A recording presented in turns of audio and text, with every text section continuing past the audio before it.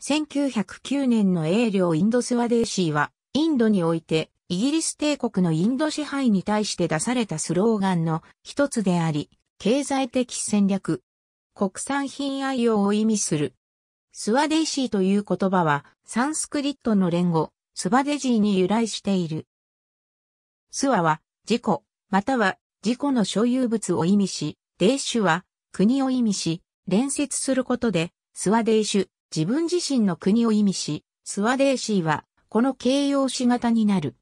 サンスクリットにおける、スワデーシーの反対語は、ビデーシーであり、これは、他人の国の形容詞型になる。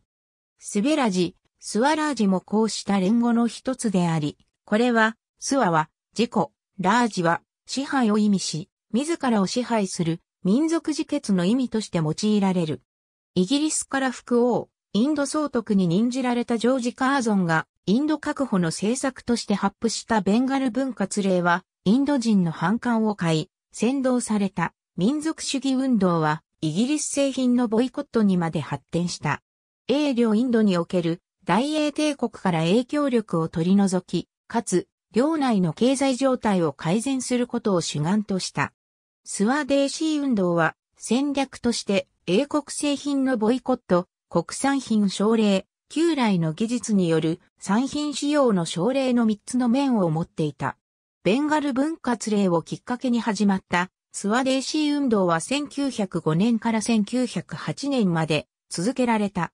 当初はイギリスに対して穏健な態度をとっていた国民会議派も1906年にはイギリス製品排斥、スワデーシーなどのスローガンを掲げて、繁栄運動の指導に乗り出した。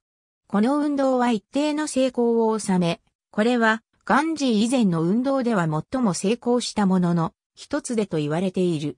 運動の中心には、オーロビンド・ゴーシュ、バール・ガンガーダル、ティラク、ビピン・チャンドラパール、ラーラーラージパトラーイがいた。イギリス製麺製品の使用を拒んで、随所で布地を焼却して製品を着用する運動がインド各地で見られた。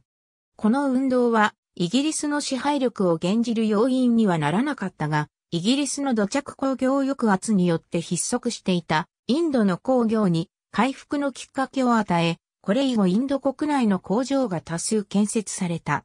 マハトマガンジー1908年以降追尾したスワデーシー運動は1920年に一般的な戦略として、スワラージの精神とともに、マハトマガンジーの主戦略、スローガンの一つとして採用された。